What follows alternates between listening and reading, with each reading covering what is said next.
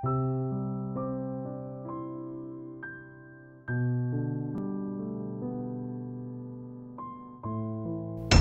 Islam sekarang sudah banyak di antara kalangan kaum muslimin kena racun modernisasi atau mode. Sudah terbawa arus.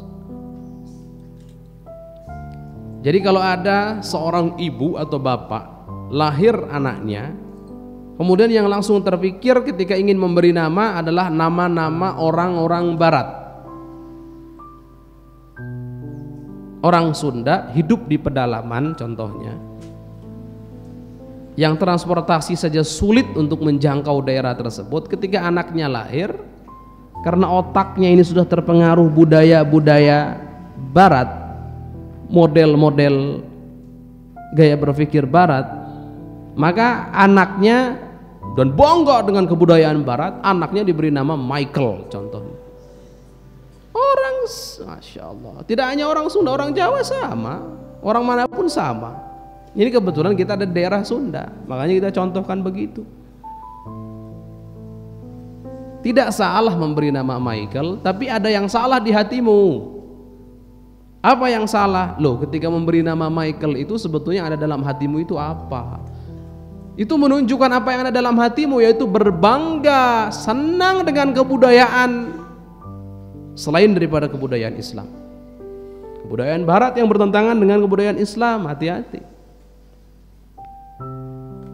Kita tidak mengatakan semuanya salah, tidak. Tapi dalam hal ini yuk koreksi diri. Mau ngasih nama kok namanya aneh-aneh. Hmm? Ini sudah ada virus-virus ini. Virus-virus sudah mulai tidak bangga dengan agama Islam Virus-virus sudah mulai tidak bangga dengan nama-nama Asmaul Husna, nama Allah, nama-nama Rasulullah, nama-nama para sahabat, nama-nama para ulama sudah mulai nggak bangga. Hmm?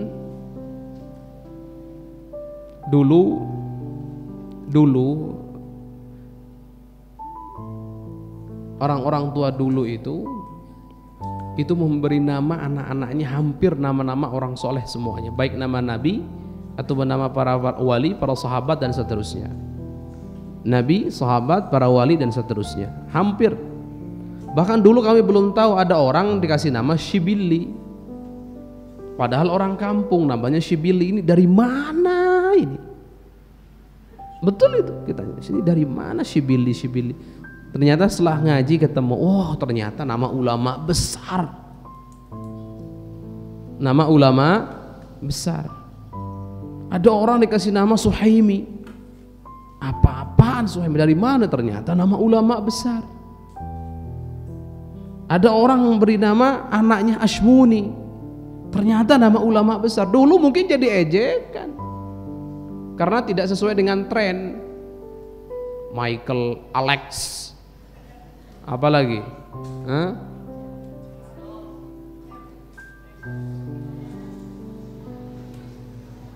aneh-aneh. Ini kita perlu bangga. Karena tidak mungkin seorang muslim akan merendahkan nama-nama Allah. Tidak mungkin akan merendahkan serta merta langsung spontan begitu tidak mungkin. Pasti ada mukaddimahnya mukaddimahnya apa dia sudah tidak bangga dengan Islam itu yang repot dia sudah tidak bangga dengan nama-nama Allah dia sudah mulai tidak bangga dengan nama-nama Rasul, nama-nama Nabi, nama-nama sahabat, nama-nama ulama sudah tidak bangga. Ini ketidakbanggaannya ini lama kelamaan akan menyeret dia ke mana terus sampai derajat membenci, merendahkan dan menghina. Sudah sampai derajat itu dia bisa keluar dari Islam. Anak putri kasih nama Fatimah, Sayyidah Fatimah Zahra. Lahir anak putri kasih nama Aisyah. Lahir anak putri kasih nama Nafisa, Nama-nama yang baik, yang bagus.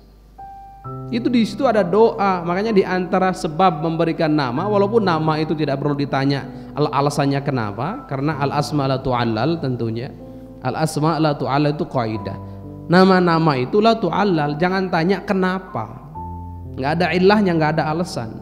Cuma di antara orang tua ketika memberi nama anaknya itu tujuannya apa? agar apa? Doa agar si anak ketika diberi nama punya kedudukan, punya nasib, punya masa depan seperti orang yang memiliki nama ini.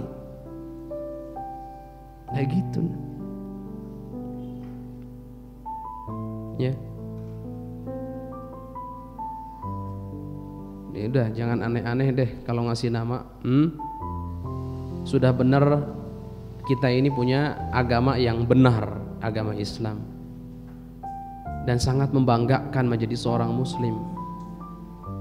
Dan perjuangan para nabi, para sahabat sangat membanggakan. Apa yang mereka berikan untuk kita, jasa mereka kepada kita sangat besar.